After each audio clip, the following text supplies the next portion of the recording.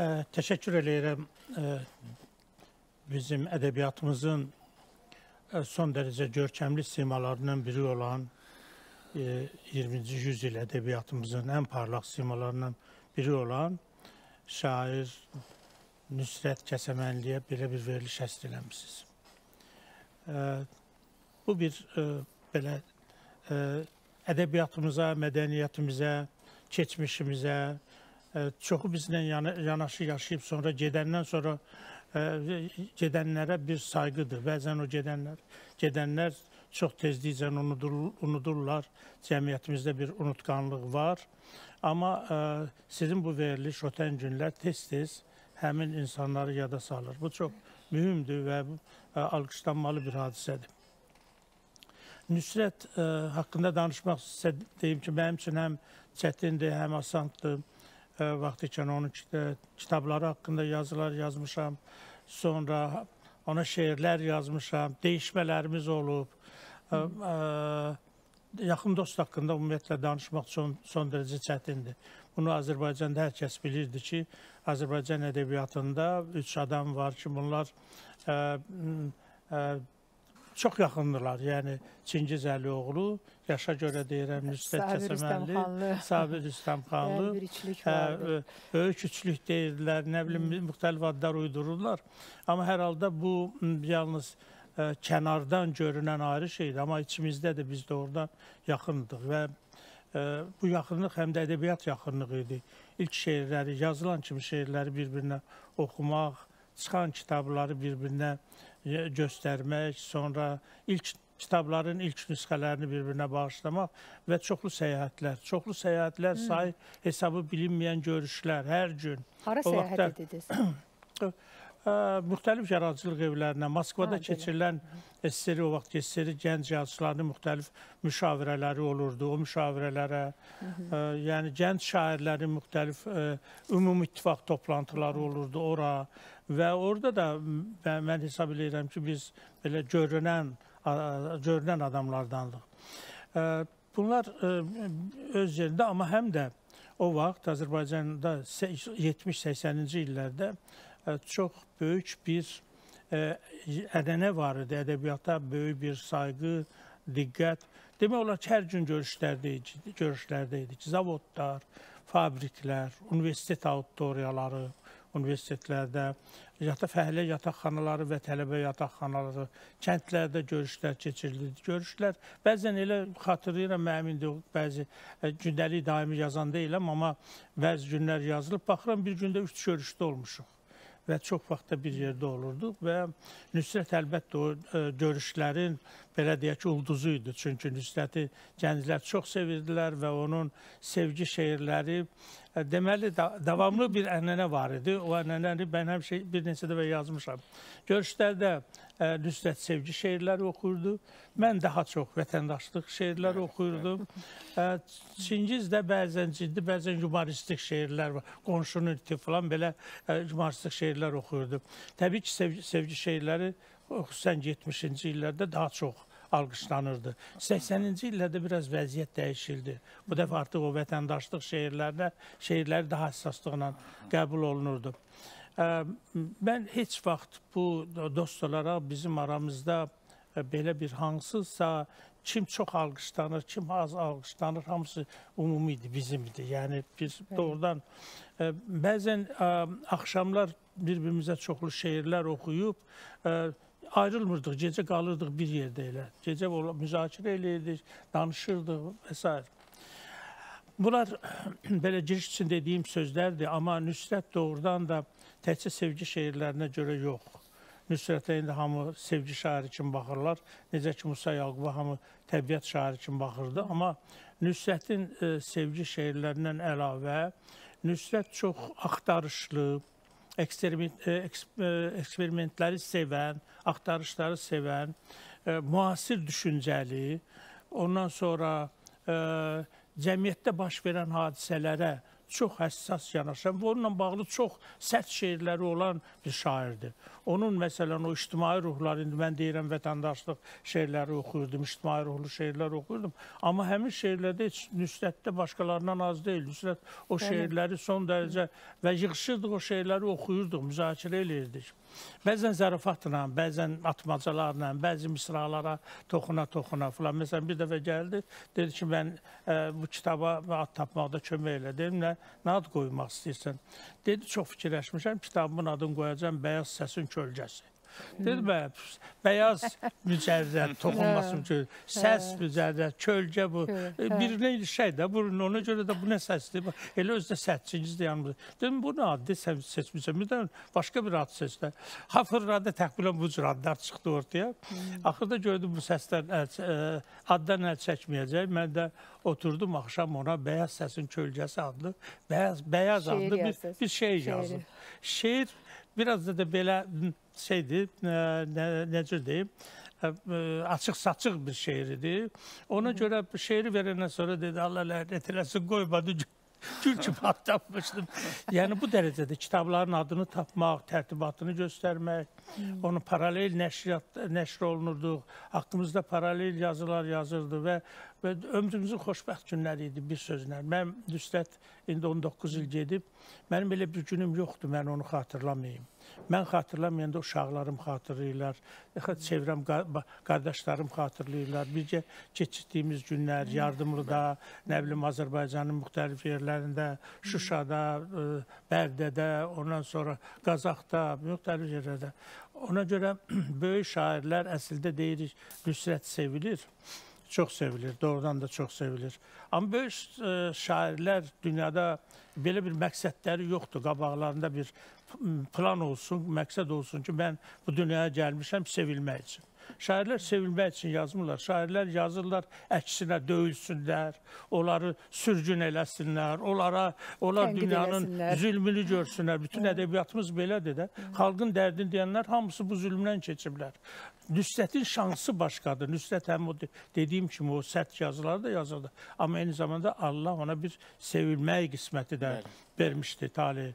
O, o se şeirlərlə gəlir. Niyə o sevilir o şeirlərin qəribəliyi nədir? Bu ayrı bir söhbətdir. Mən bir dostlarımızın, hə, dostlarımın vaxtına girmək istəmirəm.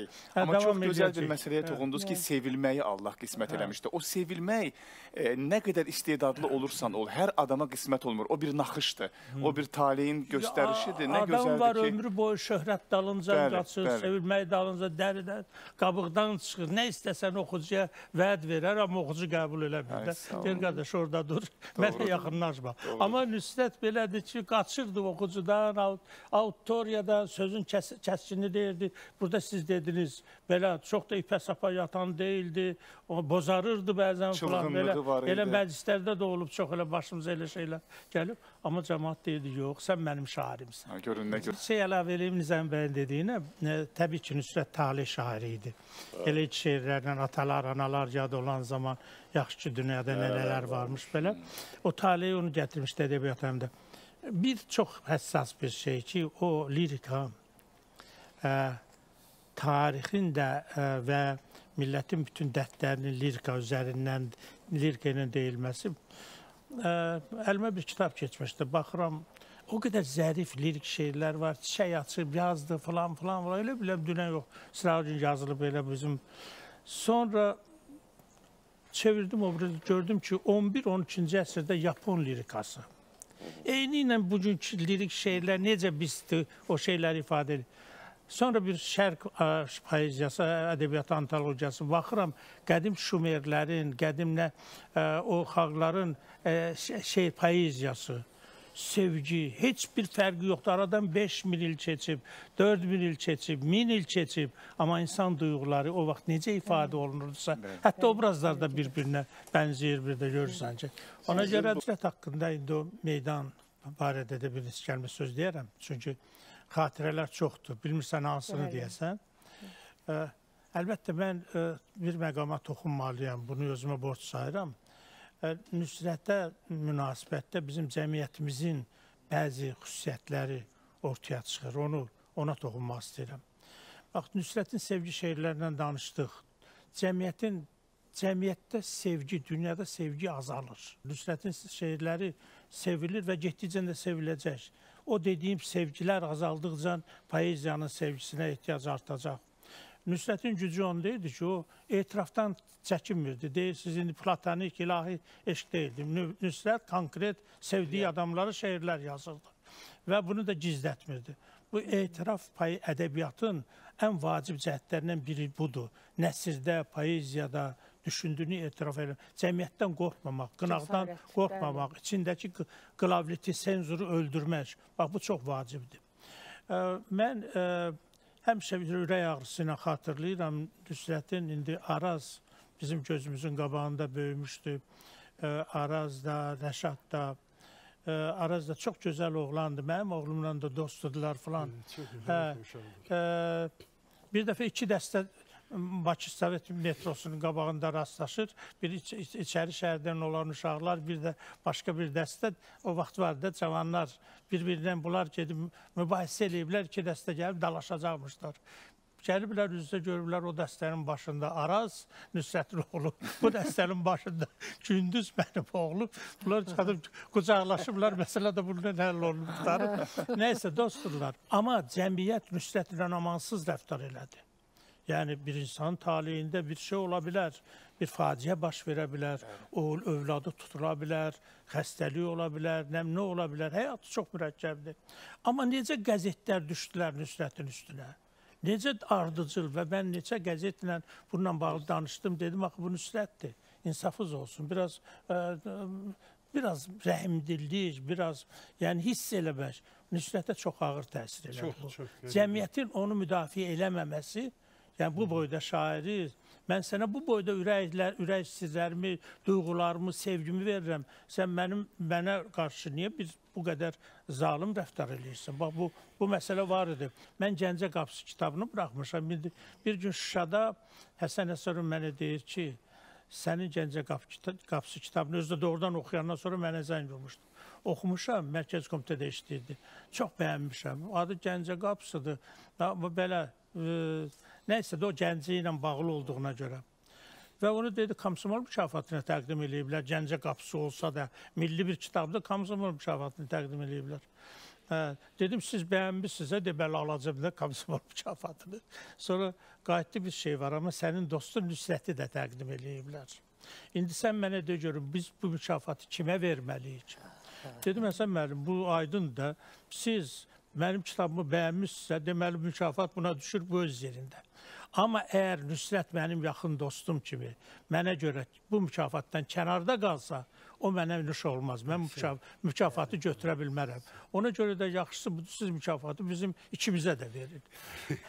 Qayıtdı, mənə baxdı. Dedi, Patonun birinci dəfədə görürəm ki, Azərbaycan yazıçıları bir-birini müdafiə eləyirlər. Yoxsa kimi dindirirsə deyir, əvvəl mən, sonra mənim dostum. Ona görə dedi, mən sənin söz verirəm, mükafatı sizin ikisə də ver. Mən çalışacağım. Və doğrudan deyil, doğrudan deyil oldu. Günün birində mənə yenə oğlum zəng vurdu, dedi ki, belə çox təşvik eşitmirsən, filan nə. Dedi, ata eşidirsən, eşitmirsən, bilirsən, eşitmirsən, dedim, nədir? Dedi, Nüsrət əmi qəziyə düşüb. Dedim, çox əzilib, maşını filan nə. Dedi, nə əzilib? Nüsrət əmi ölüb. Ölüb. Xəbər yayılıb ki, Nüsrət əmi ölüb də qəzada. Mən isə buna adboy verdim, çox da telefonu söndürdüm. Və mexaniki olaraq, başqa telefon bilmirəm, ev telefonlarında, mexaniki olaraq götürdüm ki, telefonu uşaqlarında olar filanla. Telefonu yığdım Nüsrətin öz telefonudur. Bir də gördüm Nüsrət o bir tərəfdə telefona cavab verir. Hə qardaş nə var nə yox. Dedim hə sən yaşayırsan, sənə bir şey olmayıb. Dedi yox, e, ölümdən qurtarmışam. Dedim onda düş həyətə, onda yaşayırdılar Şuşa bazarın yanında e, Cavid prospektində. Cavid dedim, dedim düş e, evin yanına gəlirəm təcilli. Gəldim, dedim nə istəyirsən? Sən bu Dedi ki, mənim maşınımı vaqon 20 metrə sürüyüb, maşın yoxdur, amma mən sağ, sağ çıxdım da. Hə, de, dedim ki, o, otur, də, oturdum, dedi, nə istəyirsən? Sağ çıxmısan da ürəyindən nə istəyir? Dedi ki, ürəyimdən qəbələdən su iç, sən su iç, içmək istəyirəm. Hə. Yaxşı bulaq suyu. Deyirlər o qəbələ restoranlarında olur falan. Getdik 8 kilometrə, indi o girişdə bir Qəbələ restoran vardı. Bu zaten qamışdan örülmüş bir köş, köşk də tapdıq. İkimiz oturduq. Yanımızda bir adam da vardı, indi unutmuşam. Oturduq. Dedi ki, bilirsən, belə qardaş, belə bir- mən indi ölmüş olmalıydım. Allah məni saxlayıb. Və başıma bir iş gəlsəm, sən mənim ən yaxın dostum kimi hökmən orada mənim məza tabutum, nə bilim o cənazəm üstündə bir söz deyəcəkdin. Xahiş edirəm. Xahiş edirəm bu sözü indi de mən ona qulaq asmaq istəyirəm. Dedim sənin sənin başın xarabdır. Dedi yox, xahiş edirəm bu sözü deyəsən. Və mən zarafata saldım. Ona onun haqqında deyəcəyim bütün sözləri dedim. Sən bizim ədəbiyyatımızda kimsən? Sənin yerin nədir? Sən cavanlarsın, Gözəl. kimsən dostlarsın, kimsən filan filan. Onun da gözü yaşarıb, mənim də gözüm yaşarıb. Talih idi də. E, Heç ağlıma gəlməzdi ki. Hə, nəysə belə bir və o bizim son görüşümüz oldu. Çox sağ olun. Sabir müəllim.